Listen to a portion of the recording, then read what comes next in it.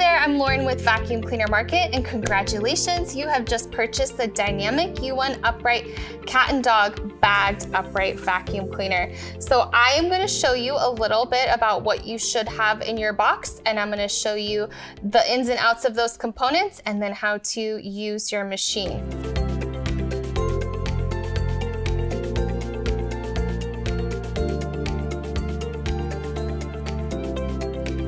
Your machine is gonna come just like this. So this is how it should come. You should have your body. On the underside of your body, I'll show you where the um, crevice tool, upholstery tool, and the dusting brush are located.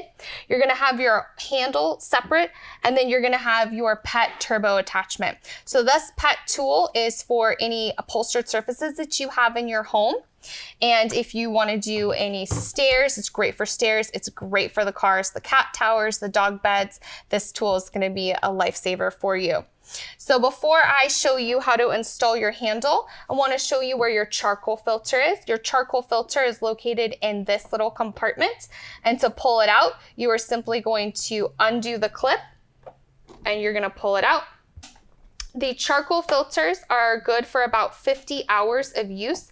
And in terms of cleaning lifespan, that equates to about a year to a year and a half. But again, if you are an avid cleaner, you're gonna go through your filters a little bit quicker than somebody who's only cleaning once or twice a, a week. So then that is your charcoal filter in that compartment. To install your handle, what you're going to do is you're gonna need a little bit of force and you are gonna take the handle on your handle, let me show your handle first.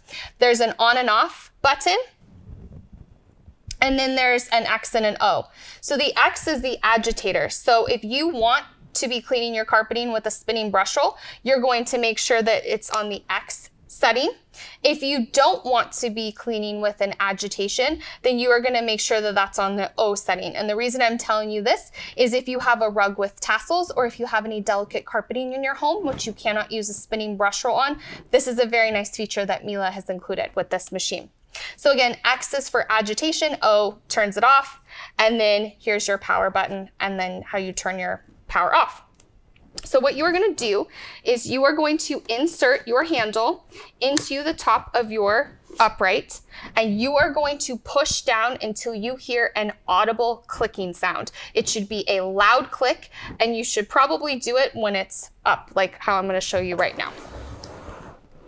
So if you push your vacuum up and you might have to turn it a little way, it will click into place.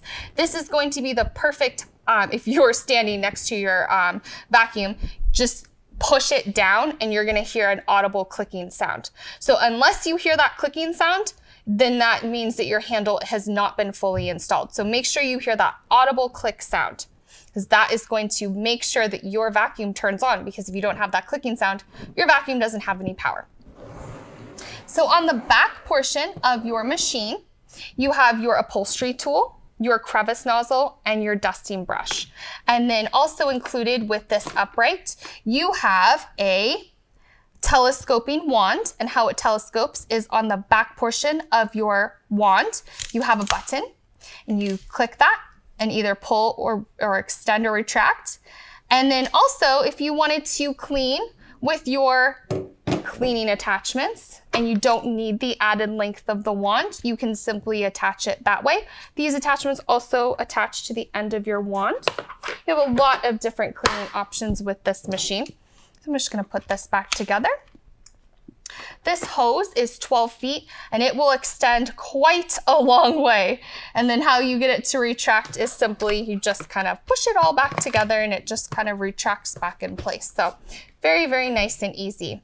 And then you are also able to attach your um, your upholstery attachment, your pet turbo attachment on the end of your wand, or as I showed you, you can take off your wand and you can attach it to the base of your handle, which is a very nice feature. So your vacuum, I already showed you where your charcoal filter is.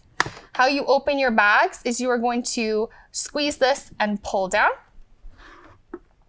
And then this is your bag clip. Make sure you keep your bag clip in the vacuum. You should only be removing the bag. This clip should stay installed in your vacuum at all times. That is going to keep your bag at the proper placement. just below your bag clip, you are going to see a green pull down grate. I don't know if you can see this. Angle this. And you're gonna pull that down and that is your motor filter. So your motor filter, let me pull this down and show you, is a very important filter. Change this every four vacuum bags or every one box of bags. Again, your charcoal filter will last you probably about a year or so. So on your bag, you have arrows and the direction of the arrows are gonna match the direction of arrows on your bag clip. So make sure they're both going in the same direction. And you are just simply going to push your bag in and then you're just going to pop it up a little bit.